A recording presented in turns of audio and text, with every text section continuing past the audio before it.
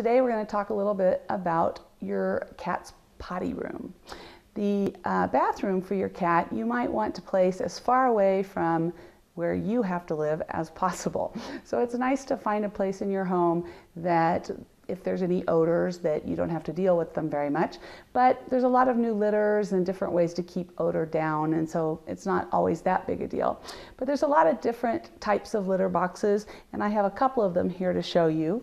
Um, this litter box it can serve two purposes. You can either have it as a regular pan and you're going to put your litter in there and there's lots of different types of litter which we can um, talk about in a second.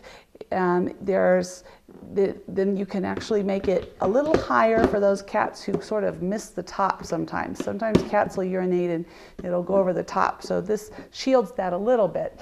And the litters that you want to use in these kind of boxes are anything from clay litters to scoopable litters. And clay litters will absorb the urine and you just pick out the, the feces and then you sort of have to um, stir the other around to let it dry and then add more as you need it. With clumping litter, you can actually get the urine out because it clumps up into, into litter clumps and it's easier to clean. So there's different litters to use.